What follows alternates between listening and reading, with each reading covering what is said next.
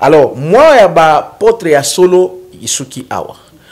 le moi oyo ezobanda ezali sanza ya ba jida e ba jida wana bakokweya e bazokweya mindele balobi no ifo botia tribunal penal international mais sikoyo tribunal international ekoya ndenge nini soki parlement na biso eza kosimplike te soki gouvernement na biso eza koimplike te parce que parlement gouvernement euti na parlement donc du fait que ça fait déjà 10 ans bato wana basimplikaka te ezokolakisa la plus haute trahison contre makila na mabele na biso le eza awa tobanda yango banda kala tokenda na ambassade ya rwanda bakanga biso toye na ambassadeur mosusu tobengani biso babotolanga na banani bamegafone alors tolobi boye tobana nanu pacifique mpo bango balingaka tokende pacifique tolobi toke nanu tozwi mokanda tokomi kaka mokanda tokende kopesa janine mabunda torapele ye ke estce oyebi ke rapport mapinga ezalaka estce oyebi ke rapport mapinga na ezosenga justice tribunal penal international ezala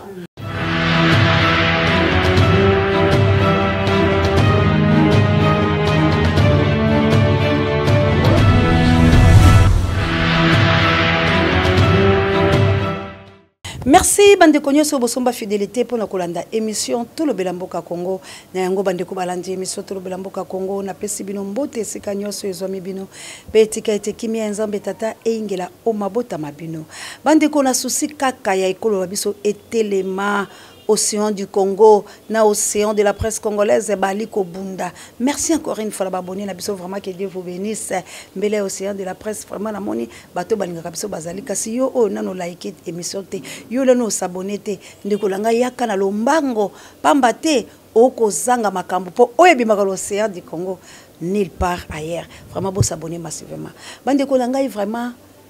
sango ya mawa mpe ya pasi kasi bandeko bayike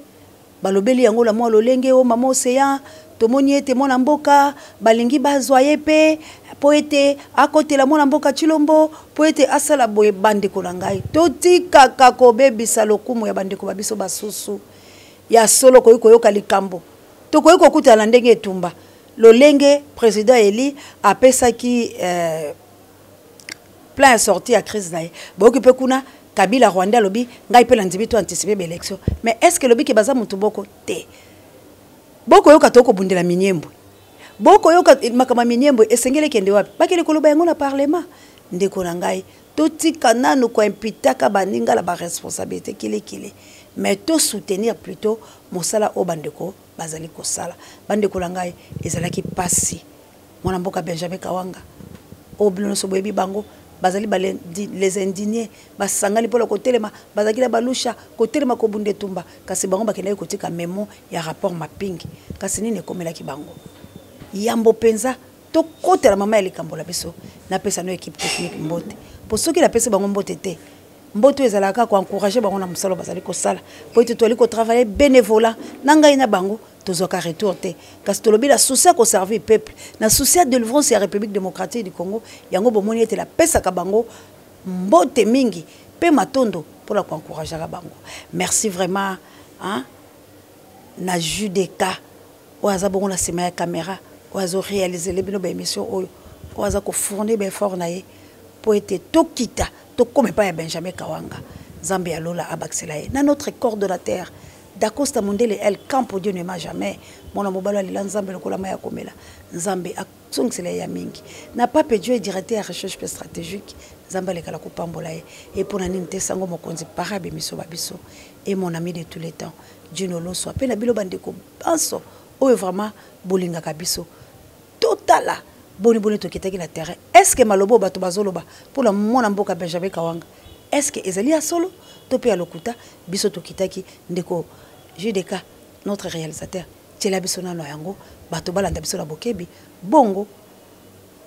kasi tozwa nano mwana mboka wana esengeli mpenza nakita na mwa esika mpo na mpasi mbote nao liboso mbote mingi mama océan de la presse ah mwana mboka kasi boye ezali ndenge nini vraiment asembola nano baye mboka kongo balanda o mpenza bazolanda sikoyo na océan du congo ebandaki boni osali mpe nini mpo koma na mpasi ya boye oui eh, nabandaki ebandaki boni nasali nini tosali lit nasali lit tozosala lit mpo na kolibere congo e, ndenge kimbangu atikela biso mission lumumba atikelaki biso mission ndenge ndeko na ngai rigene autaki koloba ntango tozalaki na anr nayebisaki bacongolais je vis lumumba venir lumumba m'a remis une émission ya korenir le mouvement citoyen et de continuer la lutte pour la libération totale de ce pays Et cette mission qui a été donnée par Epesa Malaki, Oyeutaki par Simo Kimbango, Mfumu, comme on appelle les autres, les prophètes de, de ces temps. Alors, biso, lit na biso ezali na deux principaux objectifs. Makila na mabele.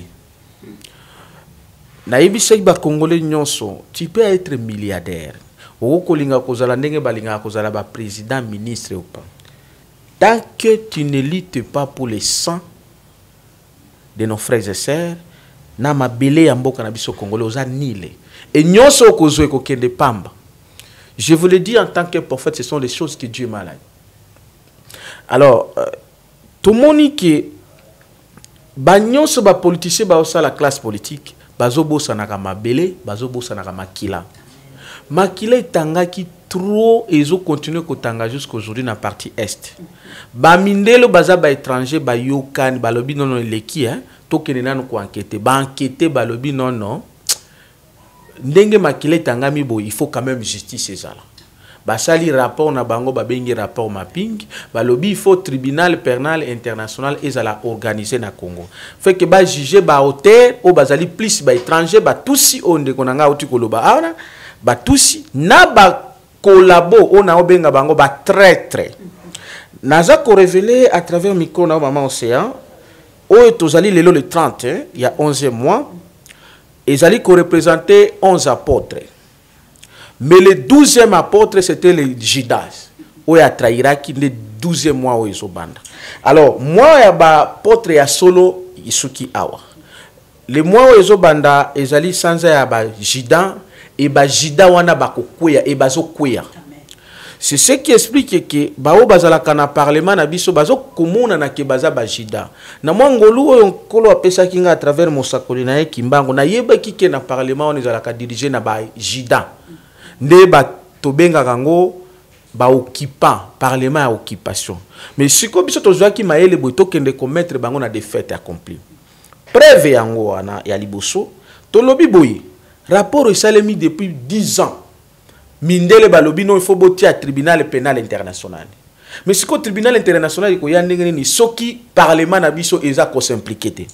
soki gouvernement na biso eza koimplike te parce que parlement gouvernement euti na parlement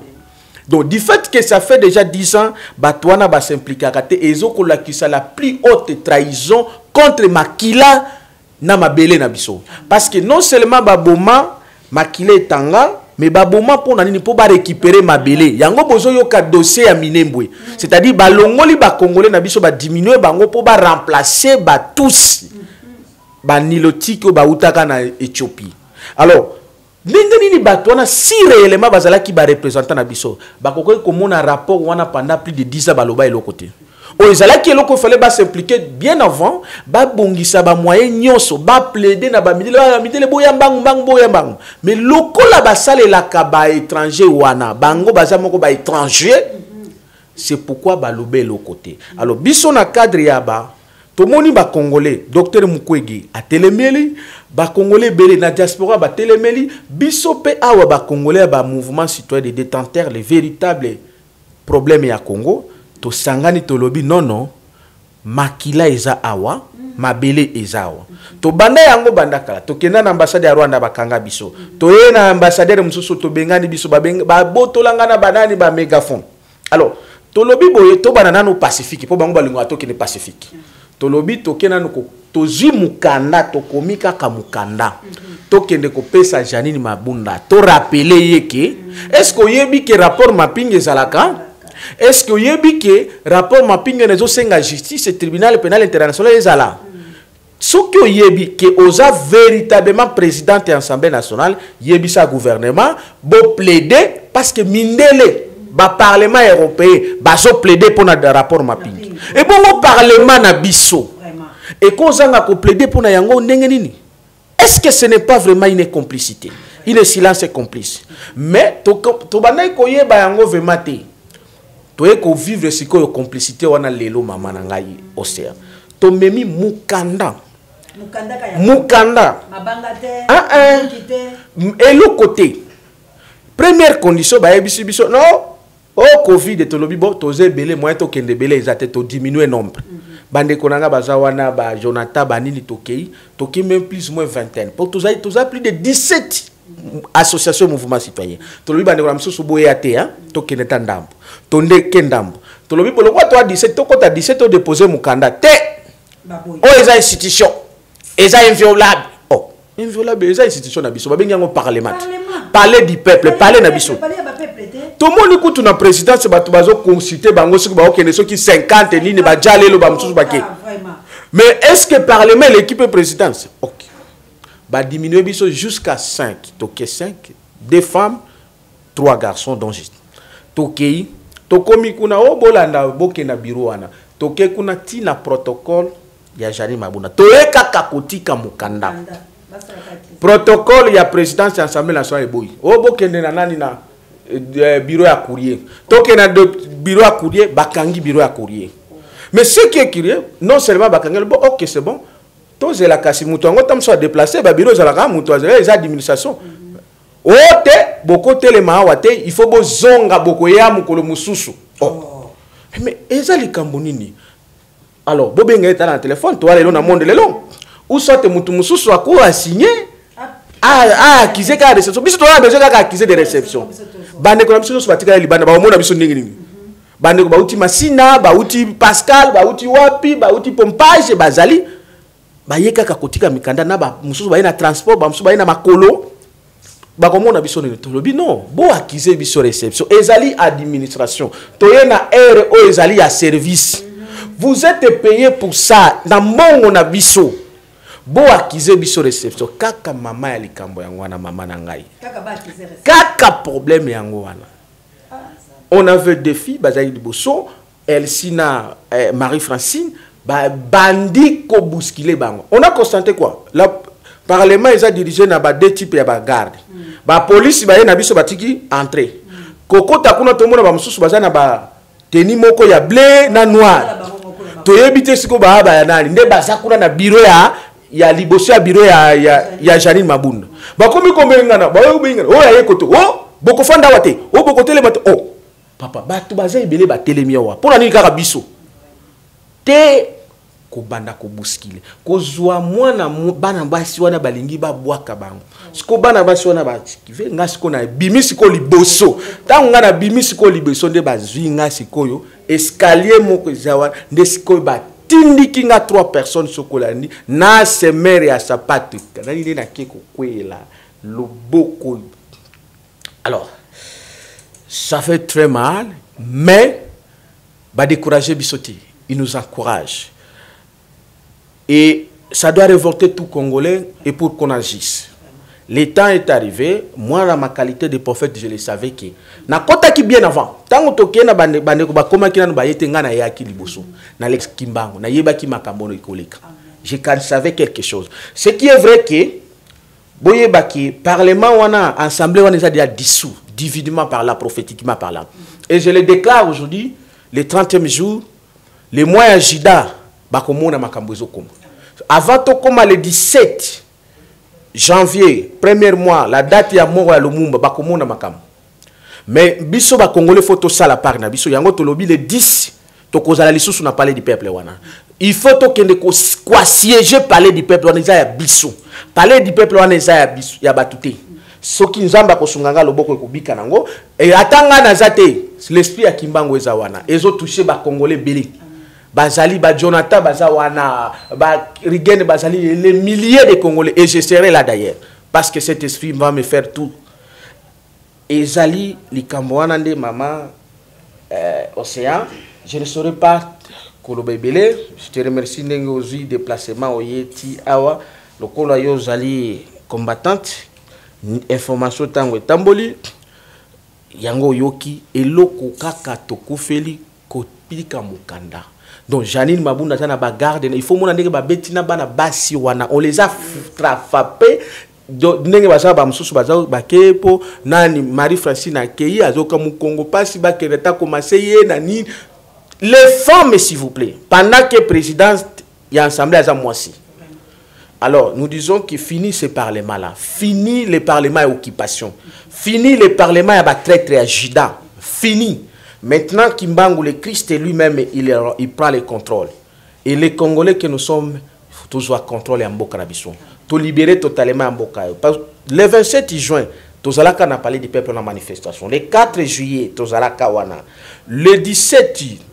septembre après arrive ya kabila wana nakendaki wana nakendaki kosala bonganga mm -hmm. mais lekola bango moko basali erreur mm -hmm. bapermettre déjà na koti ti na kati mm -hmm. c'est fini le parlement ya occupation e bacongolais bakomona baévénement ezosala mais biso tosala part na biso atake peuple tosinire parce que bato wana basi basili mhm. tout ce que satanisme na bango ezalaki mona okitisme banini nyonso esesili bien sûr on a eu le choc mais la victoire est la nôtre Le Congo est déjà libéré spirituellement, prophètiquement, mais tout ça là, tout au récupérer institution na biso wana palais du peuple eza ya biso tokende koasiége yango tobengana bato wana parce que ces gens là ils sont dirigés par les rwanda les kagame via les kingakati c'est leur système c'est comme ça que bakoki kopermettre te rapport mapingi wana ezala esika parce que bango baza na kati kuna mm. Il faut nous nous battons jusqu'au bout pour que la justice soit faite. Sans la justice, ata bapesi bino ba présidence ndenge bapesaka bino, ata bapesi bino ba gouvernement, sans makila ya ba congolais nako défendre mabele ya Congo. O oh, Kimbangu asalela 30 ans de prison. O oh, Lumumba akufela jeune. Tous les politiciens là ba cope na bino bokende kosala gauche droite. eza nil heureusement kimbangu a dejà ressuscité sa quatrième génération que nous sommes nous allons défendre les sangs et les sols congolais jusqu'au bout et la victoire est la nôtre bandeko balandi nabanzi mpenza ntango profete ya koloba bino nyonso bokomona nabanzi ete ezali mbala ya yambo tokutana na ye boye na etando eke mpo tosolola kasi manso alobi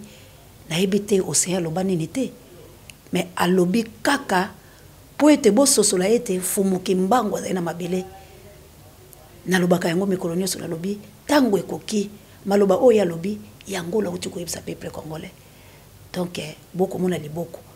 mais maloba ya esengo ezali ete mboka esi esikolami nasi nayebisaki bino mais ba peuple congolais nde tokende ko siège na parlement. Tango ye alobi tokutani na ye na pasi, tango nayoki pasi na ye mbangu mais maloba alobi est ce que bokoboya lisusu soki oseye alobaki otyaki tembe kasi oyo oh, ye alobi omoni teke oseye mosusu yeyo mvuluzi yeyo te sikoyo nini yo okoboya yo peuple congolais ntango oyoki bato mibale bible elobi témoignage ya deux personnes eza déjà malamu peuple yoka kasi mwana mboka balobi kotindika mpe kobeta bino mpamba te 320 député ya hippolyte kanamba elage joseph kabila bazongeli ye yango pete babengani bino mpo bazali kuna kosala makambo na bango nous on s'en fout de bien sûr toyo bazalaki kuna bauti tolekaki bamosusu wana bazosepela joyeux anniversaire donc parlement ekoma nango eloko ya kokendaka kosala bisengo na bango bamosusu bazoyemba ba joyeux anniversaire bazosekipe ata na makambo ya nzala bakongole te bato baokufa partout na este baobomaka bango baza kuna te toyeki bamosusu bazoyemba bajoyeux baanniversaire bakoti bareunion na bango kuna Maman Océan, ba théâtre wana on en parlera. Natika nanu nazwa santé et et nazwa nanu santé, mm. cela montre clairement que oyo toyebisaka bandeko ke bokoluka ba solution partout mais tant que boluki ba véritable prophète que nous sommes te bokozwa yango te solution ya congo eza ni na europe te ni na angola te ni na brazzaville te ni na namibie te ni na sadek te Et pour votre information, en tant que prophète, batu nyonso wana bazo la libération à Congo. Ba Congolais nyonso ba libanda bazo la libération à Congo baya. Ba Africains bazo la libération à Congo. Mais la libération à Congo ezali awa. Na ba sakoli ya solo na ba peuple congolais tozali. Donc ba perte Mais parce que nyonso wana kuna eza na solution ti. Nyonso kuna eza na solution te. Batu wana nyonso bazo la solution. nakokaba bato mosusu o oh, angola angola ezozela solution awa et nous avons les solutions soki bamilingi baluka solution esika tozali na yango kimbangu apesa biso bafongola ya mboka oyo soki bamilingi te bango nde bakokende kongo ekozala libere parce que pour l'intérêt du congo le christ doit être derrière maloba ya basakoli na ye et santa ya kimbango tokokota dans quelques jours avant tokota yango bokomona baévénement nayebisaki baoyo baza na europe ke bokomona baévénement europe ezokokweya l'occident est en train de tomber bosebungama e awa mpe esika bato bakoya bayebaki bakomona baévénement baokitisi oyo bazosala bacope na bango awa bakende koluka gauche droite tant qu'il ne nous cherche pas le véritable prophète que nous sommes bakokende Congo toko libere yango na makasi ya Nzambe Tata kolanda maloba oyo aloba na Kimbangu. Merci bandeko balandi na kozwa ye penza temps mingi te pamba te bomoni ete mwana mboka penza azali na pasi mingi kasi na kosepela pela na nzela ya singa soki bokotia mwa maloba moke na otaki koloba botala soki ya ngala prophète ekokani te bayi kongomani mboka na biso esi ezwi liseko na yango Kasi telema congolais. Telema congolais. Bon mwana mboka mwa maloba moke mpo totika yo vraiment opema talaka douleur oyo vraiment nzambe azala na yo mpenza. Oui, et liloba ya moke eza keke ba congolais nyonso bayeba que la lutte continue. On continue à se battre, on se battra jusqu'au bout jusqu'à la libération totale de ce pays. Et elle est déjà là, prophétiquement parlant, mais il faut se tolatisa yango nzoto. Congo oyo batu nionso bazo zela po baya na Congo. Mais moi batu moko boye le système moko ndenge ndeko na nga Jonathan oti koloba 610 personnes na complicité à moi ba accords moko que nous avons toujours appelé les accords sataniques mais pour nous convaincre les accords sataniques il faut consulter les véritables dieux par les prophètes que nous sommes. Et si vous voulez ajouter l'occultisme na ba accords sataniques rien ne se fera donc euh, nous allons continuer l'assemblée nationale le parlement c'est le nôtre mais il est temps que biso ba congolais to démontrer que palais du peuple ezalaka biso to s'approprier nango siko physiquement tolukaki tosi tobundi to s'approprier nango prophétiquement par là siko faut to s'approprier nango physiquement Donc ba congolais nyoso bazala tous unis derrière nous les mouvements citoyens euh, révolutionnaires pour cette cause. Et na ba nyoso bazo sala ba coalition na bango ou bien ba arrangement na bango politique, rien ne réussira sans la volonté de Dieu. Et nous avons la clé oyo Kimbangu apesaki biso. Donc c'est ça ba congolais nyoso na pesi bino nyoso partout aux